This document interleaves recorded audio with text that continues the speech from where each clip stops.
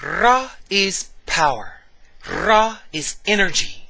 Ra is your life force. And for we Golden Beetle shamans, Ra is magic. But let's explain what Ra is from the point of view of the black Kamau of Egypt. They said to understand anything in the universe, study the hieroglyphs of Egypt. All knowledge and all power are contained within those glyphs.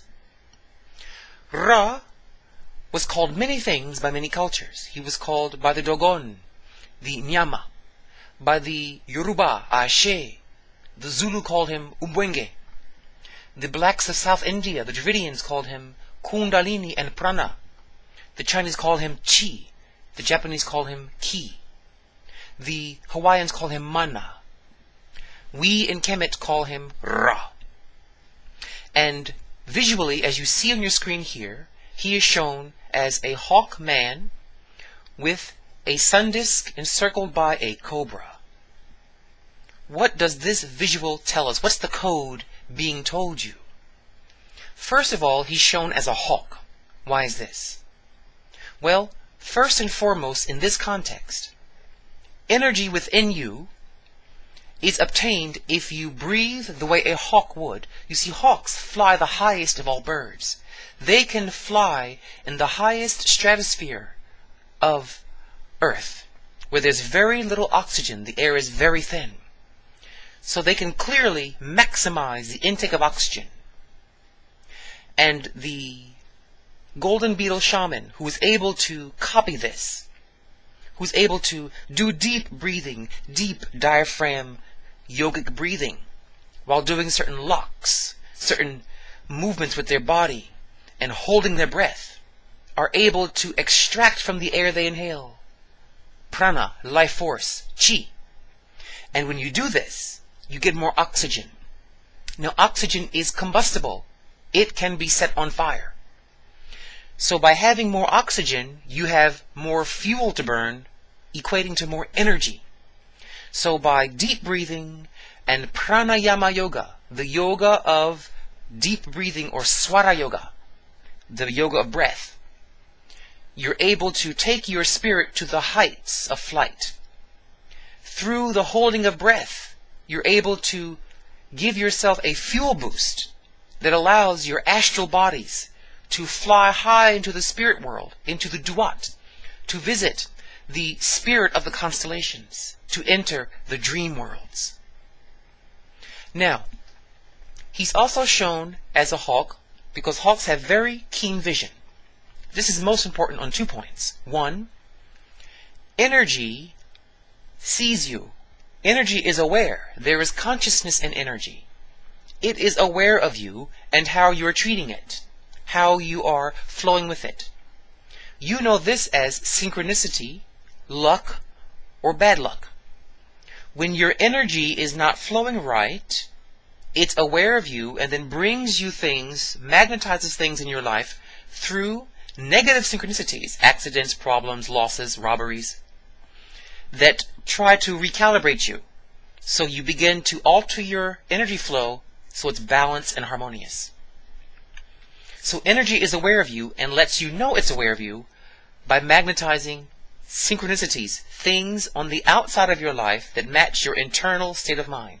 So if your mind is negative, you draw negative things. If your mind is positive, you draw positive things. So, energy is aware. Now, awareness is recessive compared to its power, but it's there.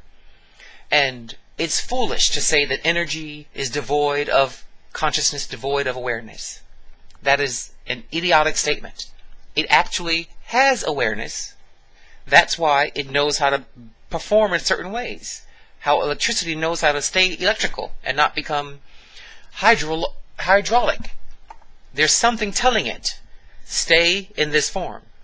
That's the consciousness. And we showed this eye saying that energy is watching you. You are being watched. Your life force is aware of what you're doing and how you're treating it.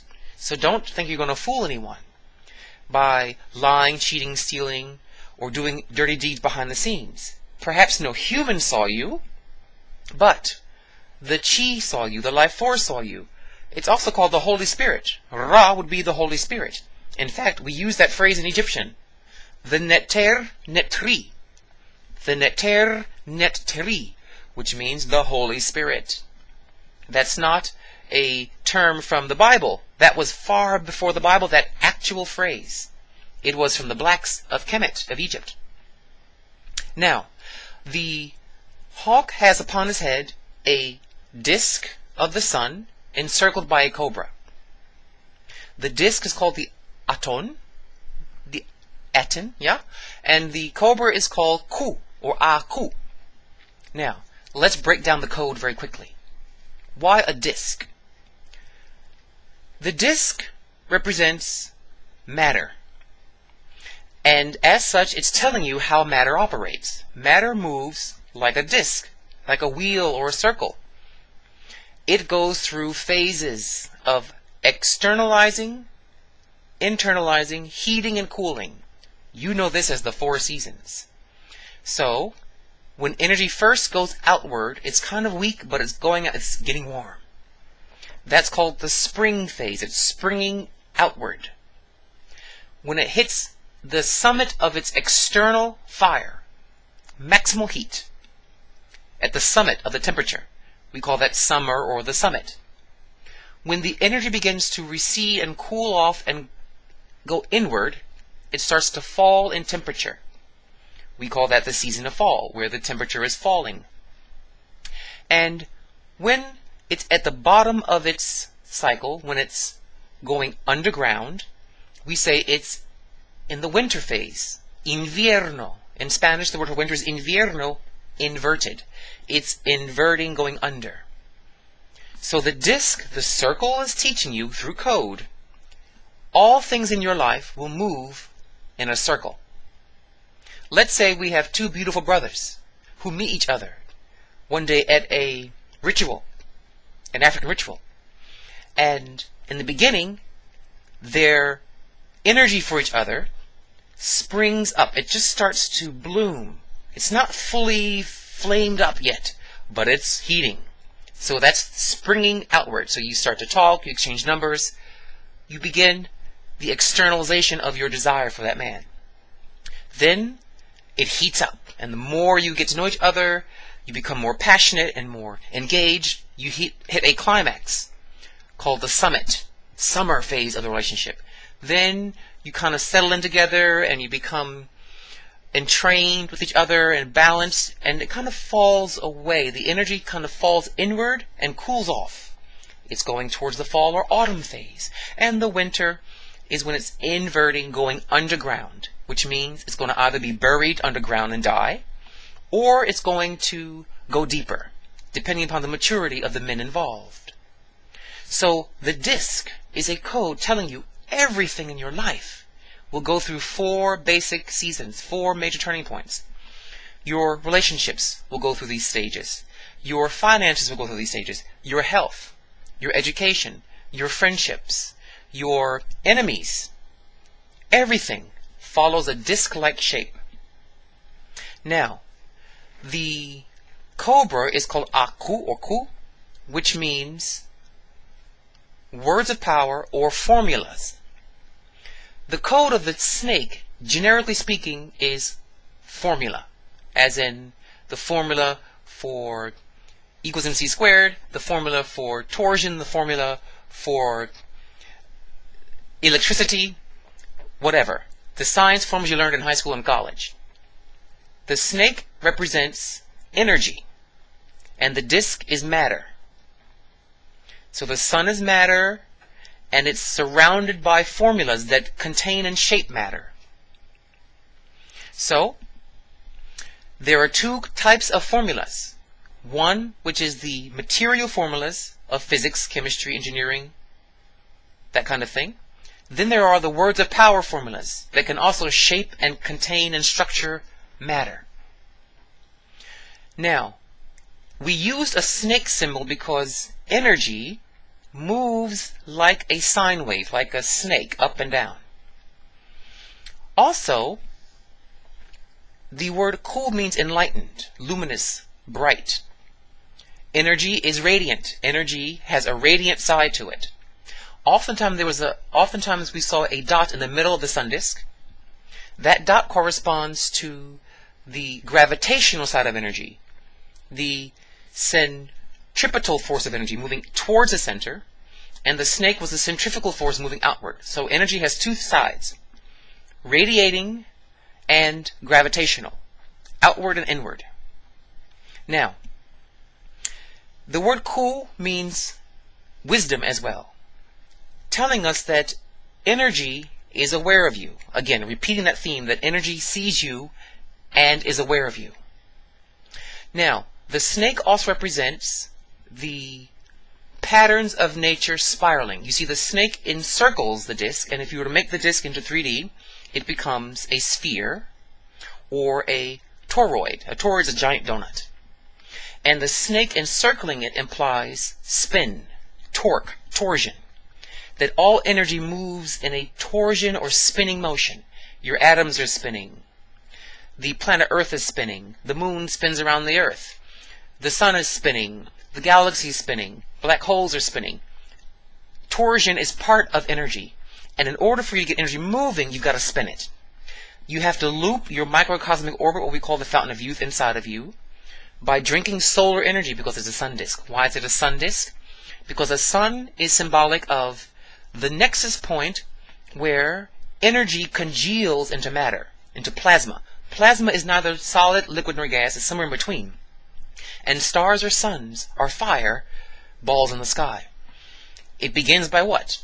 Nothing. It's just this blank space, and then there's this gravitational field that begins, and it begins swirling particles of matter to form an accretion disk. The particles then are pulled towards the center of this gravitational pull. They heat up, they explode, fusion happens, you get a star. So from nothing, you get this explosion of energy. So we saw the sun as the symbol of formulas becoming matter. Now, by you using the formulas of the words of power, you breathe. You see, when you are in ritual, if you go to an African ritual and they start drumming, what you'll notice is people start spinning, they start twirling very quickly. They start going into torsion and torque. When you invoke spiritual energy, the real deal, the African way, you start spinning and you're creating torsion, you're making an accretion disk, you're creating your star and you're creating your planets, basically speaking. So, by doing deep breathing, breath of fire, pranayama yoga, kundalini yoga, you heat up the oxygen which combusts, gives you energy to leave the earth, to fly shamanically, and you start spinning, you fall into a trance, and you have visions. All of this is encoded in the symbol of Ra. So in order for you to know how to awaken your magic, study the image. Drink in solar energy. Never stare at the sun, but you can will your mind to what we say pull in the serpents of the sun, the energy forms, the energy beams of the sun into your subtle body, your acupressure points, your microcosmic orbit. You can awaken your kundalini, which we call ku. Ku and kundalini have the same basic stem, the same sound ku. We call it Uben Ra, the rising of Ra, or the rising of kundalini. The rising of energy, life force, and Ashe in you. So the image of Ra on your screen shows you both the theme of the subject, which is Ra, energy, Ashe, power, magic, and also the method for getting it. By studying snakes, when the snake bites you, your pneumogastric nerve becomes paralyzed, actually. It attacks that nerve at solar plexus, solar plexus, the house of the sun, energy again. When that becomes locked, you then trigger the parasympathetic nervous system, which then triggers the frontal brain lobe, which is the site of reason and visions. So the serpent's bite acts a lot like electricity. It feels like you're being shocked through ele electricity, again a form of fire. And by doing yoga, deep breathing, you notice, or rituals with drums, your breath locks. And all of a sudden, you fall into trance and you start seeing things, you're able to do things, and able to wield power and bend the elements. So, long live Ra. May all gay men reawaken Ra in our community to bring us light, fabulosity, sparkle, and glitter. May Ra flame through all gay men and set the world on fire. Dwauend, Hotepu.